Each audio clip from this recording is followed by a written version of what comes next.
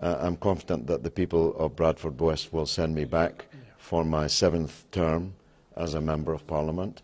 And if I'm in the next House of Commons, I will support a Labour government because any Labour government, even one led by Ed Miliband, is going to be better than any Tory government. That's not to say I will oppose it. I will not oppose it on this or that uh, measure. And if uh, I'm very lucky, Mr Miliband will be depending on one vote. And if he is, he can negotiate with me at seven o'clock every evening, and I'll uh, tell him what my terms are for my support in the lobbies that evening.